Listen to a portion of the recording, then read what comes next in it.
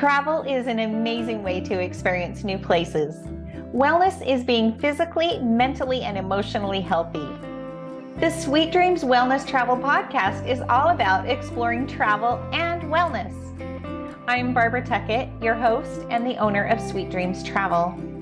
Part of our emotional and mental health is connection, and I believe that traveling with the intention to connect can bring wellness to your life. In this podcast, I explore traveling for connection, connecting with places and experiences, connecting especially with people, the people you're traveling with, the people you meet, and especially connecting with yourself.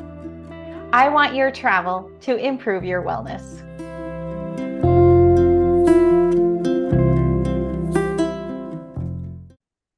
Hey, welcome.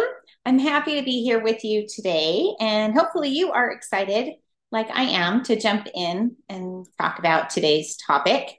Today, I'm going to be talking about Ireland.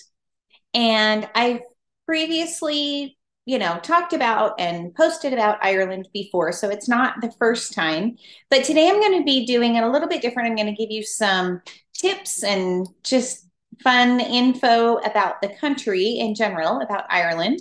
And then I'm going to share a great itinerary that I put together for some clients who are traveling to Ireland soon. So, thought that might be kind of a fun way to um, enjoy this amazing country.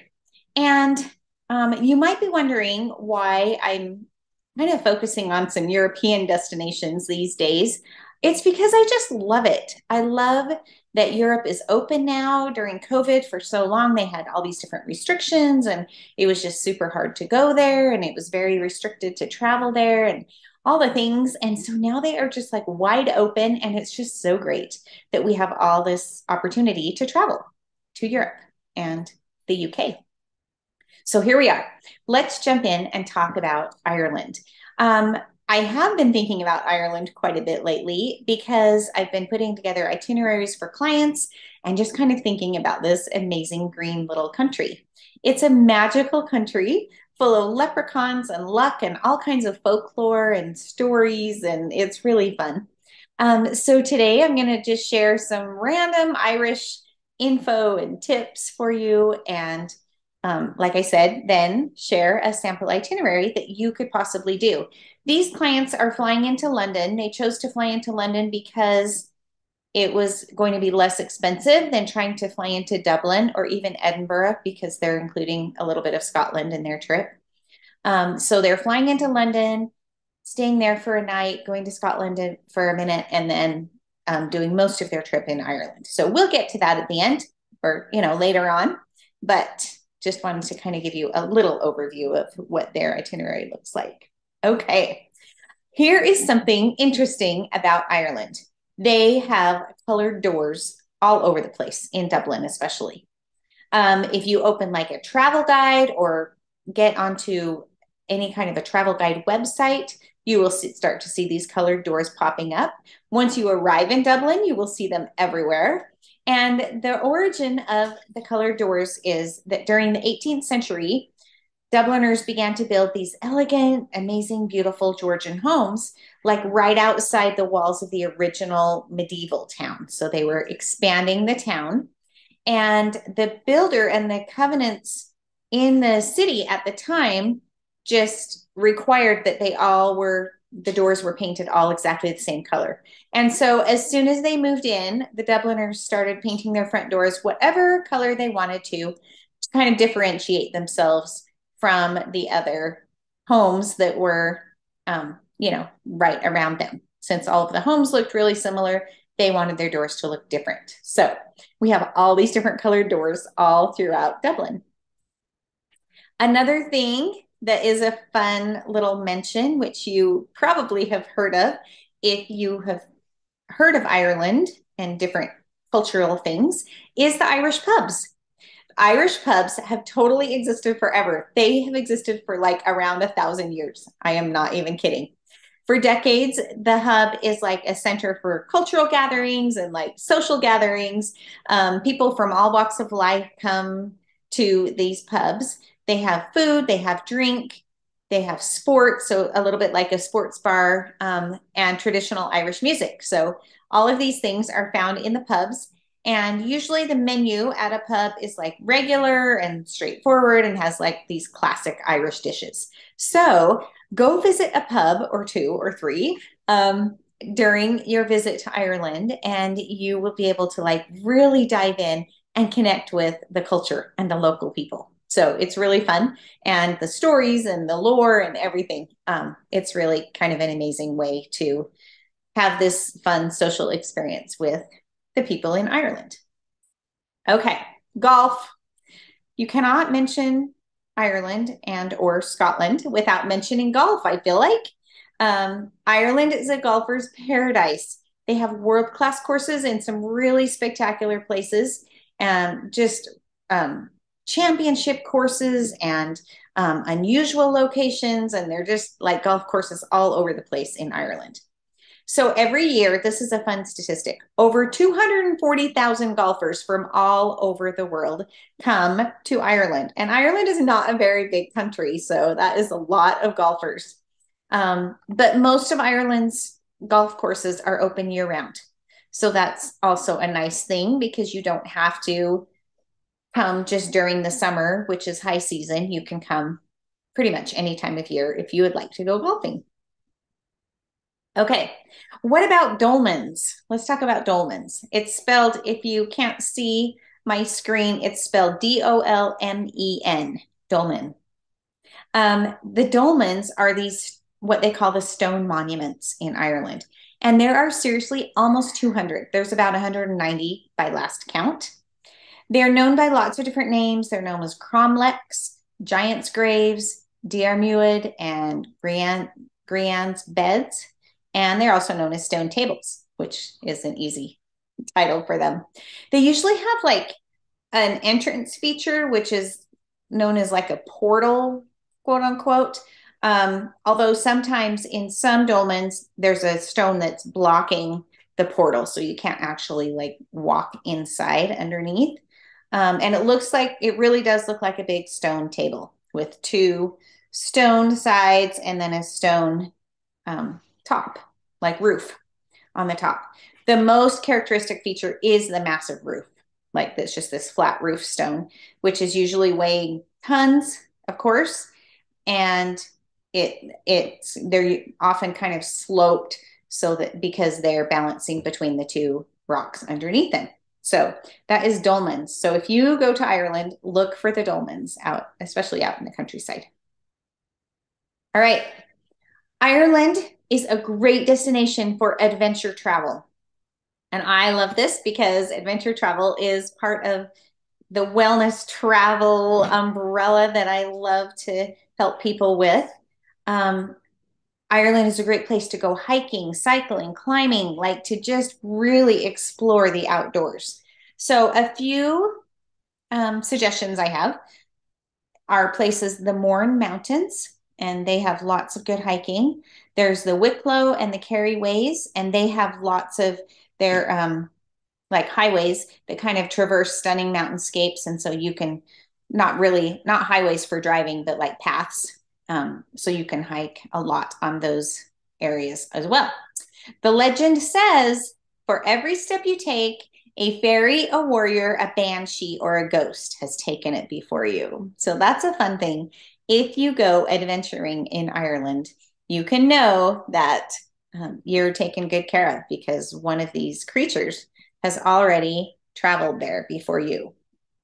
Okay, so those are just kind of a few random fun, I guess, facts and things to know about Ireland. And for my clients that are traveling there, like I said, they are flying into London but then they're flying home from Dublin at the end of their trip just to get better pricing. Um, if you did this same itinerary, you could take off the night at London in the beginning and then just start from Edinburgh if you wanted. So let's, let me switch my screen that I'm sharing and, oh, whoops. Let's there we go. I am. Okay at um, the tech, but I am not perfect at it. So let's jump in, and I would love to share with you what they are doing on their Scotland and Ireland trip. So this could be a sample trip that you might want to take something like this, or we could always tweak it because it's just this individualized um, itinerary for them. So we could always tweak it so that it fit more what you wanted to do.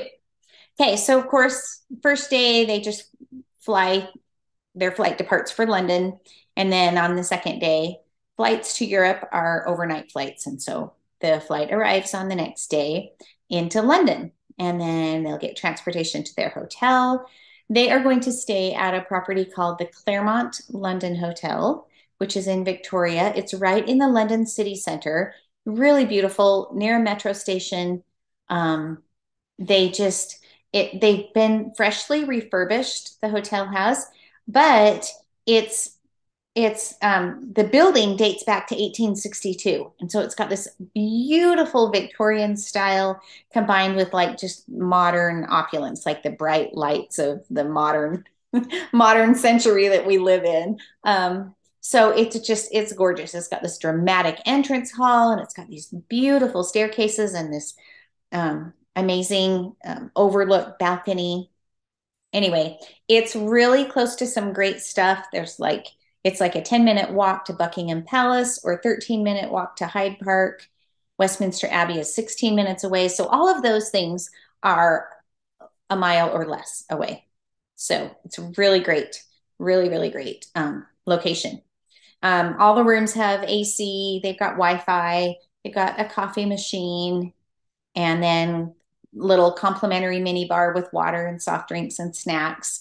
Um, they have toiletries, iron and ironing board, um, and they include breakfast at the hotel. So it's really a fun, amazing place to be. As you can see, um, I'm showing a couple of pictures of the hotel right now, and the entry is this beautiful, gorgeous, um, refurbished Victorian entrance. But then as you look at the room, it's very modern, very sleek designs, um, very light. And then you can see a couple of the views from the hotel and even a picture of what the breakfast looks like. So this is an amazing, they're going to stay here just one night in London. And then the next day, I don't have any activities planned for them. They'll just kind of be on their own. They can walk or take the tube and um, do a little bit of sightseeing on their own. Um, the next day, they will take the train to Edinburgh. And then once they get to Edinburgh, they're going to stay three nights in Edinburgh, just do a little sightseeing around this area before they head to Ireland. The hotel that they are staying in Edinburgh is called the Ibis Edinburgh Center. Um, and it's in Edinburgh Old Town, really close to the street called the Royal Mile. Um, they're just they're modern rooms. They've got TVs in them. Um, the hotel has a bar which has light meals and snacks 24 hours a day. Um, it's it's really a good location in Edinburgh. You can see I'm showing some pictures, some nice modern rooms, and um, beautiful little courtyard where you can eat, and um, also an eating area inside. So they will stay in this hotel for three days. Okay, so once they travel to Edinburgh, I don't have any plans for them for that day, but then the next day, they get to take the Jacobite train. Now, you may or may not have heard about the Jacobite train. What this is, it's the Harry Potter train. So you get to go on this Harry Potter themed excursion into the Scottish Highlands. So you leave from Edinburgh and then you just sightsee all along the way. Um, so you get to go to this fishing village called Mallaig. Um, and it is it's called the Jacobite Steam Train, which is the Hogwarts Express. And you get to go along the the Glenfinnan Viaduct, which you see in the movies, and all of the dramatic scenery and everything. Um, there's Wi-Fi on board, and so even though you're you're on the Harry Potter train, you're you know not back in the Dark Ages or anything. Uh, you'll have a Scottish speaking guide to guide you all along this day. And um, basically, you just get to go by all of these fun, fun stops. I'm not going to go through all of them, but all of these fun little stops along the way and ride on the Harry Potter train. So it's really cool. This fun, fun experience. So that is a one day experience. Hey, the next day they will be in Edinburgh, and I've just suggested that they do some sightseeing, like they maybe see the Edinburgh Castle, Princes Street, um, hike up to Arthur's Seat, or see Old Town.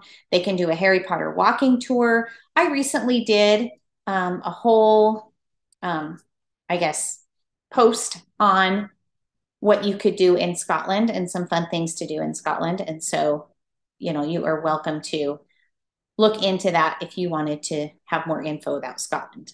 Okay, so that is their final night in Edinburgh. And then the next day, they get a flight from Edinburgh to Dublin.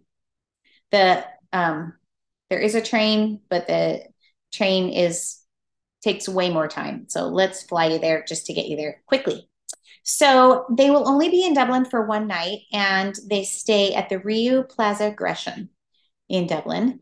And it's it's really famous. It's probably the best known hotel in all of the city. It's right in the heart of city, um, really close to all of the fun um, city center things, really show, close to the shopping um, really close to be able to get on the public transportation and go different places.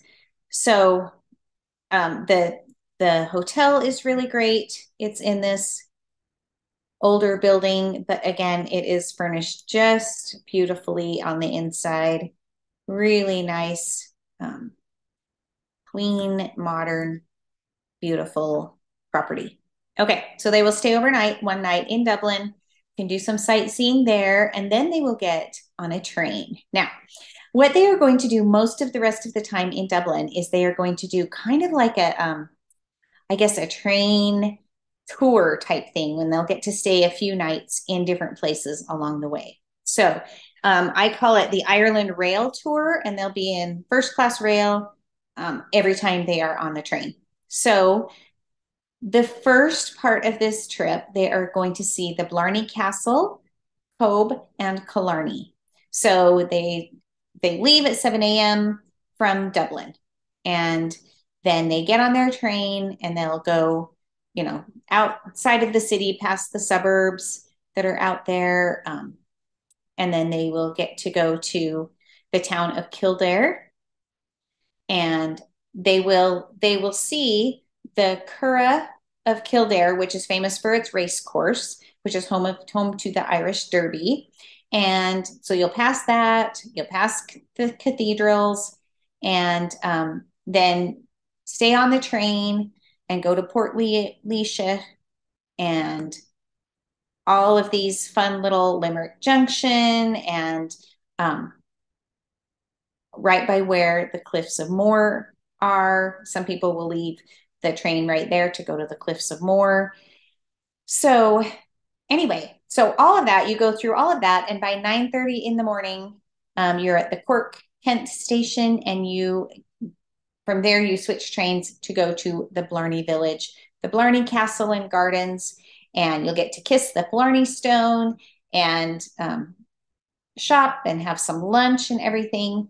And then from Blarney, you'll go to Cobh, and Cobh is a little town. Get to see some of the city, the little town of Cobh. Go to St. Colman's Cathedral, um, and then get back on the train and um, learn a lot of like really great oh historical things and um, the things that I guess led to Irish people immigrating, especially going to the US. Um, anyway, and then from Cobh, you go into Killarney. And Killarney is where the hotel is. And you will end up staying in Killarney for two nights. So you'll stay in a hotel in Killarney for two nights. Um, so from Killarney, the next day, you'll get up and you will go on the Ring of Kerry tour. So this is also a train tour. Um, lots of stops along the way. You'll stop for morning tea, you'll stop for lunch, you'll stop for photos. Um, so all along the, all around the what's called the Ring of Kerry, and the Kerry Bog Village um, is the only one of its kind in Europe. Um, it it really gives like historical insight into how people lived and worked when they were in rural Ireland way back in the 18th century.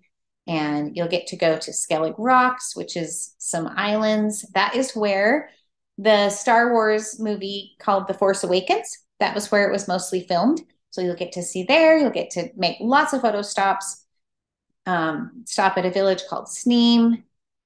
Anyway, so very, very amazing, beautiful lakes of Killarney, um, Killarney's National Park. Like you get to go through all of these areas, see all of these incredible things, and then back to your hotel in Killarney for the night. Okay, then the next day, um, you'll get up and depart for Limerick.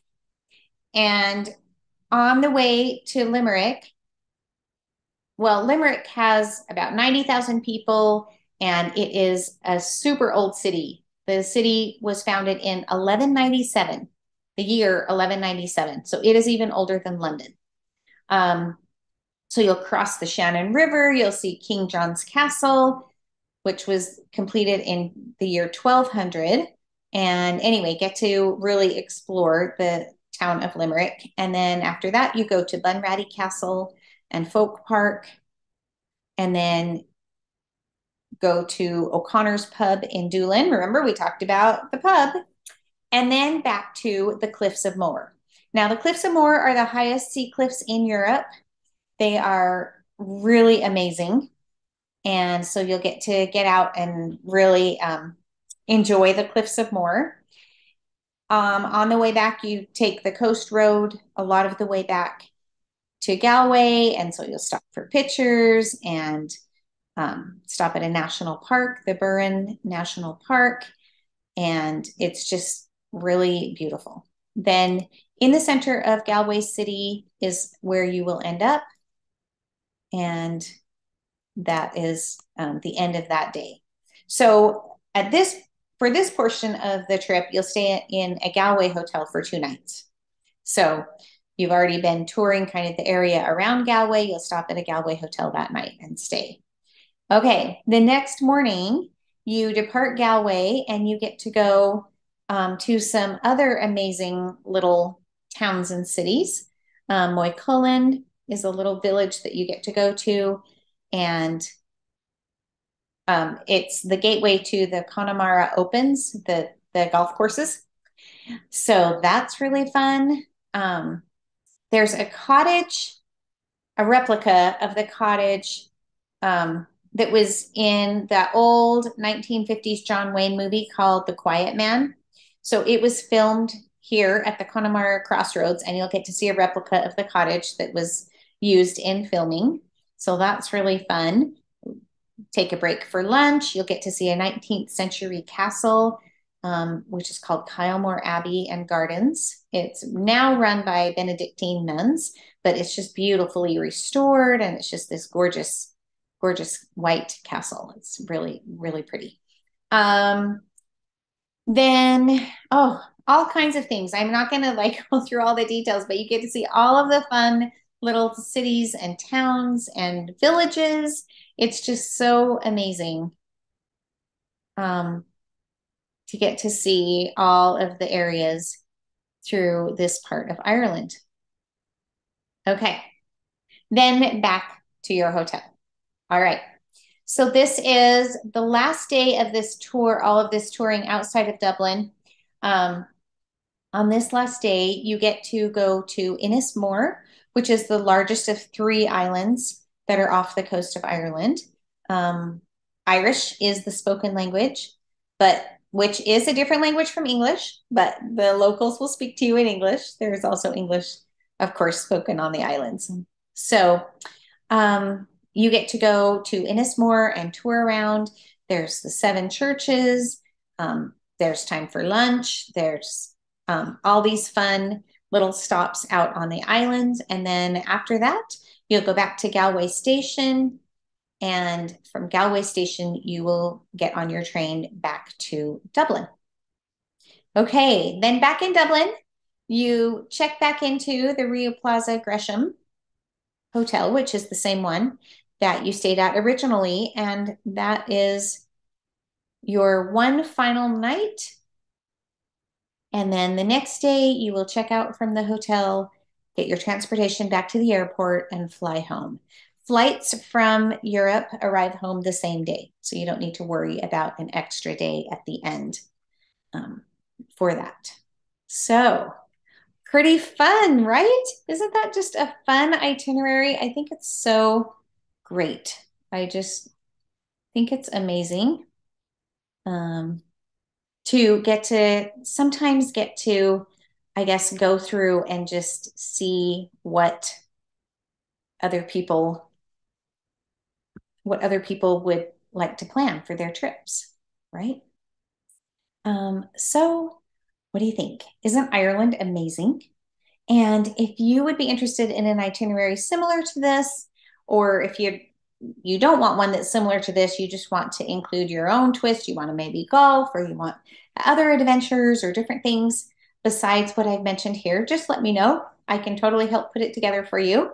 Um, so if you want to go to Ireland, let's get your Ireland trip in the books.